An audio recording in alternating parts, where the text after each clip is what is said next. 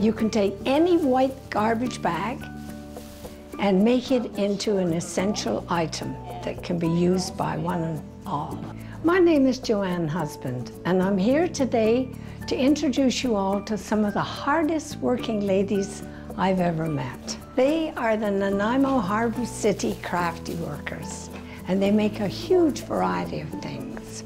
I'm Terry Wolfarth, and we are the bag ladies and starting making bags out of plastic bags. First of all, you get our bags, and you need to fold them up first to cut them to make your yarn.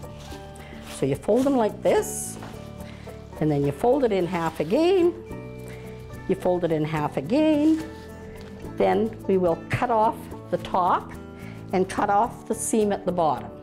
I got the idea off the internet. Some ladies in Australia started doing this, and I thought it was a wonderful thing. And depending how thick you want your, your mat, you make wider strips.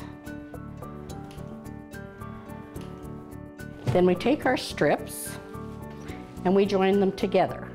Just loop them through and pull them tight so they make a nice neat join. And then we just keep joining all these loops and we roll them into our ball, which is called plarn because it's plastic yarn. Then we start to crochet with them. We start with just a chain and we try to make them 36 to 42 inches wide. So it will be a sleeping mat, so wide enough for different sized people to, to sleep on. The bigger the crochet hook, the, the thicker the yarn, the, the, the, wider the strips are, the thicker the yarn will be. So it'll make a, a more cushioned mat.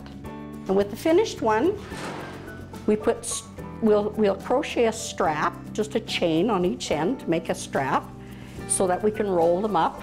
Also crochet a handle on it.